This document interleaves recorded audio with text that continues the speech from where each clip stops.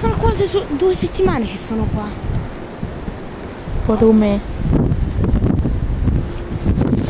E sono anche migliorata coi disegni.